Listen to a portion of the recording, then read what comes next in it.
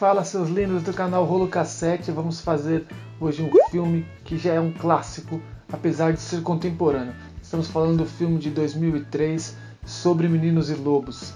Esse filme realmente é um das pérolas do grande diretor Clint Eastwood, para mim o melhor filme desse diretor, apesar de ele ter muitos outros filmes. E vamos falar também do que esse brilhante elenco entregou pra gente nesse filme. O filme traz o Champagne fazendo o papel de protagonista no filme e dando uma atuação impecável. O filme também traz Tim Robbins no elenco fazendo um coadjuvante que realmente rouba a cena. E um destaque também para Marcia Gay Harden que faz a esposa do Tim Robbins fazendo um excelente papel. E ainda temos Lawrence Fishburne é o cara que fez Matrix ele está muito bem ali também. E também o Kevin Bacon fazendo um policial ali de uma forma muito boa também. O filme sobre Meninos e Lobos conta a história de amigos, três amigos que juntos viveram ali em uma cidadezinha e passaram por um trauma que não se esquece tão fácil. Parece que os três são traumatizados pela mesma história. Um dia brincando ali de escrever no cimento, passa uma pessoa e leva um dos três dentro de um carro e depois acontecem coisas terríveis que não darei spoiler, mas é um filme de drama bem pesado e isso muda completamente a vida dos três.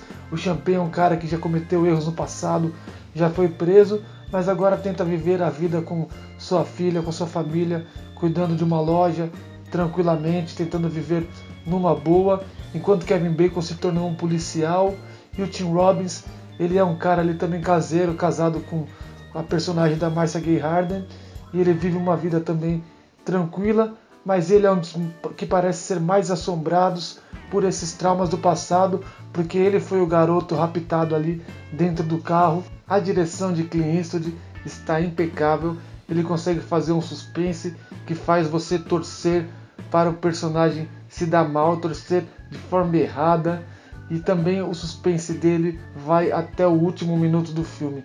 É um filme realmente muito bom e ele consegue filmar cenas que são maiores clássicos do cinema. A cena do Champagne tentando visitar a filha dele que sofreu ali um acidente é impagável. Mostra a câmera de cima, um monte de policiais em cima do Champagne e o Champagne fazendo uma atuação impecável.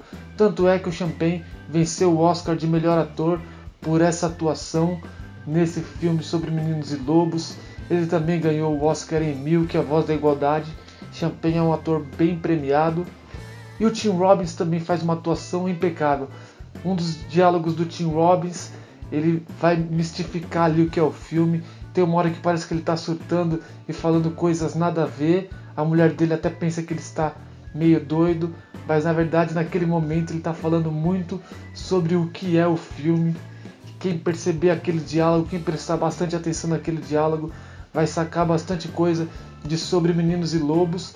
E o Tim Robbins também vence o Oscar de melhor ator coadjuvante, trazendo ali uma atuação maravilhosa.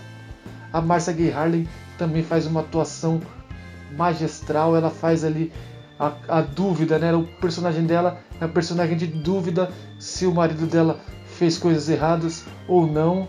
Então ela fica todo aquele tempo se ela meio que cagueta o seu marido, se ela fica do lado dele como uma família deve ficar. Então essas dúvidas vão pairando na mente dela.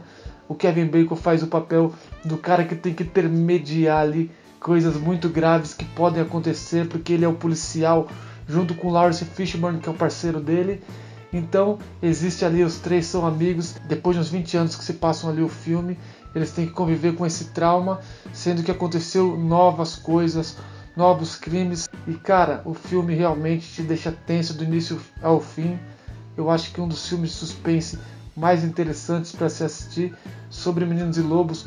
Muda muito a forma de você ver o mundo, de para quem torcer, se a justiça realmente ela está sendo certa o tempo inteiro e o que você pode confiar ou não.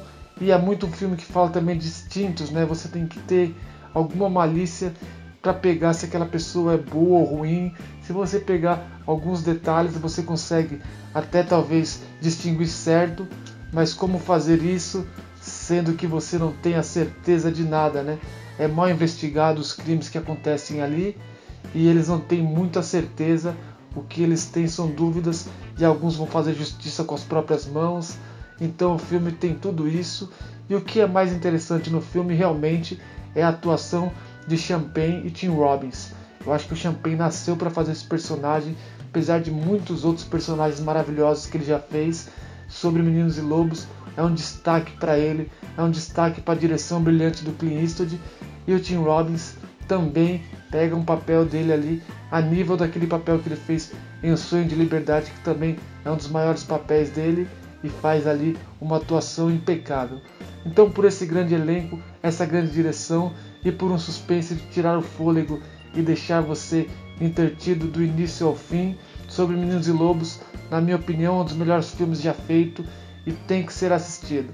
Então siga essa dica e assista sobre Meninos e Lobos, um filme de 2003 e você vai adorar. Depois comentem aqui e se gostaram desse vídeo, se inscreva no nosso canal, deixe seu like, ative o sininho para chegar todos os vídeos para vocês e vamos fazer mais conteúdos de filmes clássicos mais antigos, filmes clássicos contemporâneos. Então se gostou, comente aí que faremos outros vídeos sobre esse tema. Valeu, galera!